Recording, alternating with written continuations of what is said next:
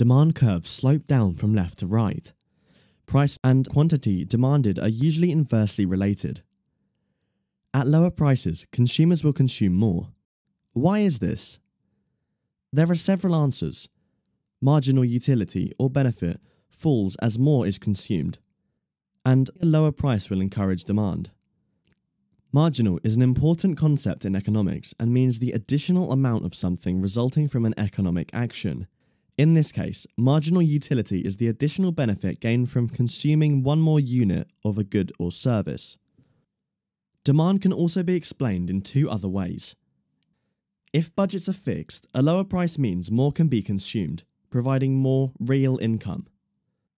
If prices of substitutes are constant, a lower price of good X encourages substitution.